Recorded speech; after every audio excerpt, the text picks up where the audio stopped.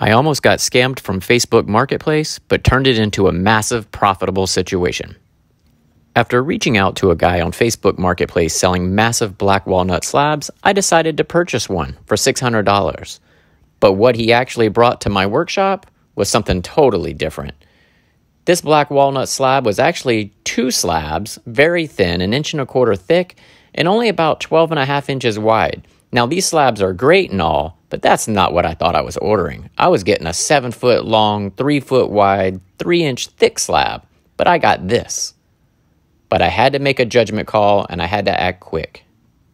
I quickly let him know how upset I was over the situation and that this was a commission build for a customer and that this wasn't fair to try to bait and switch me.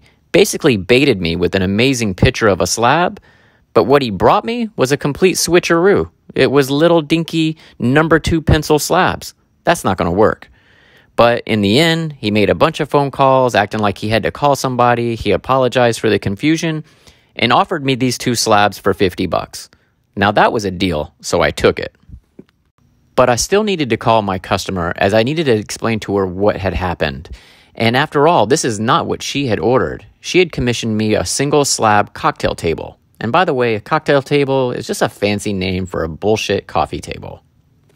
I told my client the entire story and was completely upfront with her. She understood and was bummed out. But I was able to switch it I pitched her an idea of a river coffee table, still using black walnut like she wanted. It just wasn't going to be as big and as thick. And her original price point was 12000 and I offered her this one for 6000 She was still pumped and excited as this project needed to be done for her open house party, and she was just really wanting it done. So I needed to jump on it. She was excited, and I was pumped to move forward. After all, I bought these slabs for 50 bucks. Now, just talking about material costs being $50 for the slabs, a couple hundred bucks on the resin, and charging a gross price of $6,000, I would say that's a win, right? That's not bad, but the labor itself had to be quite expensive, and I didn't factor that in. I especially didn't count for the grueling migraines and shoulder pain from doing the slab flattening. Not to mention the damn mess it created all over the workshop. Jesus, it was a disaster zone. Now, this is not a type of project I do often, but it was still fun and I had a blast. But my major problem with this whole build was these slabs were only an inch and a quarter thick, and after I slab flattened them and got them completely dead square and flat, these things were only about 7 eighths of an inch thick. So I did have some leftover black walnut that was dimensionally cut in the shop, and I made this border and I glued it down, clamped it down, and I added a few fasteners just to help it secure it. Now, off camera, I took my angle grinder and I went along the whole edge just to try to match and copy the real live edge on the top portion. It actually looked pretty damn cool. Now, in the act of transparency, I want to discuss this shop. This workshop I'm in right now is nearly 3,000 square feet, and it's my old shop. I'm no longer in it. This shop was a dream shop. I absolutely loved it. I mean, you could run 24 foot boards in any direction, vertically or horizontally, and hit nothing. It was amazing.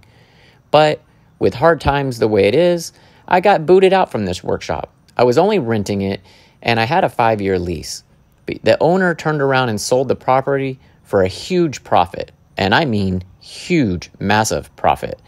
And the new owners only gave me 30 days to get out. So you know, entrepreneurship. It's a roller coaster ride. You got to move with it. It's highs, lows, ups, and downs. And if you can't pivot, then you'll never make it as an entrepreneur. And I believe I am an entrepreneur.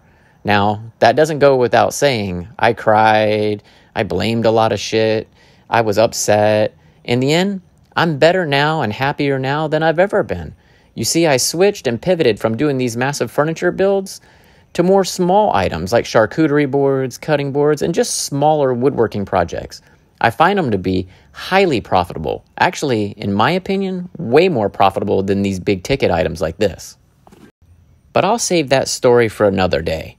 A story that I am dying to tell you guys about switching and pivoting from making huge furniture for big price tags to making small woodworking projects for smaller price tags, but the profit margins are larger and you make more money.